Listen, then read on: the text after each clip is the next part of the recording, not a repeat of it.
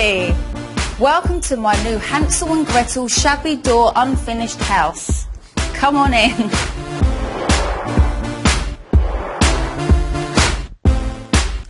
So this is one of the rooms.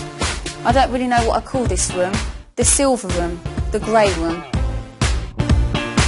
This was me when I was 18, FHM shoot. Do I look different? That was me natural, this is me plastic natural plastic, 1833. I think I still look the same. I don't actually. What I love about it, I love my glitter. I like like chandeliers, a bit showy. I like. You know, not show as in, oh, this is my show home, because my house isn't. My house is proper lived in. Just because it looks tidy in here doesn't mean to say that you can't put your cup anywhere. My house isn't like that. You could do what you like in my house. But what I think will surprise people is, although I'm obsessed with pink, people would always presume that my house would be pink. Yes, my cars are pink and that because that's a bit of fun. But to actually live in, I think it would do my head in to have a pink room like everywhere. I wonder whose room this is. No, it's not my room. It's Princess's room. I love this room. If I was a young girl, I would have absolutely loved a room like this. All of these are like wardrobes. Shoes in there, got shoes in here. I think she's very lucky. I think every girl would love a room like this. My room, at her age, we moved about 13 times, 13 houses, so there's not one particular room I can remember. But obviously my mum and dad didn't have the money that I have, so I'm lucky I've got the money to be able to spend and make it as spectacular as I can very princessy, very girly, gorgeous. In fact, this should be my room because I love it.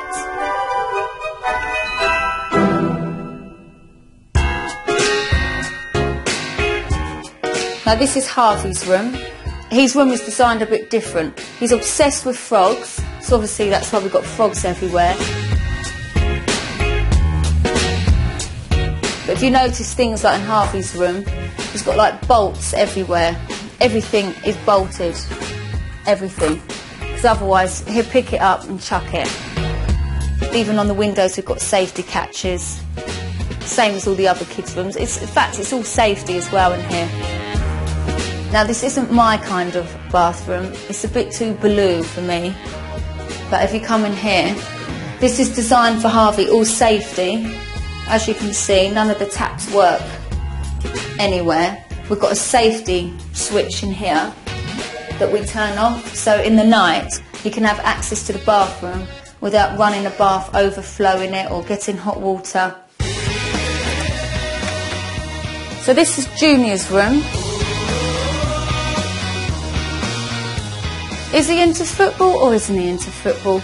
Probably not really, but he's a boy, so I thought I'd do a little football room for him. So this will inspire him to kick a football outside. It's got like a little shower and sweet bathroom. You've got your built-in wall wardrobes. Do you know, I should be a salesperson for a house, I think. I feel like I'm an estate agent.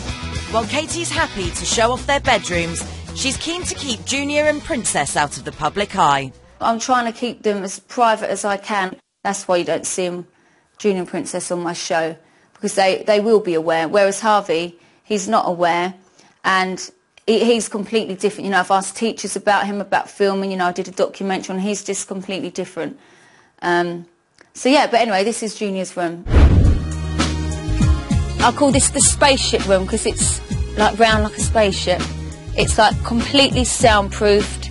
Um, we've got the karaoke machine here, so we've got it all on the big screen. We literally just plonk ourselves in here, eat junk food, watch movies. It's brilliant. Now this is my favourite room of the house. So we've got the TV area, eating area, social area. The kitchen is a place where it all happens. The main thing about living here is the privacy for me and the children.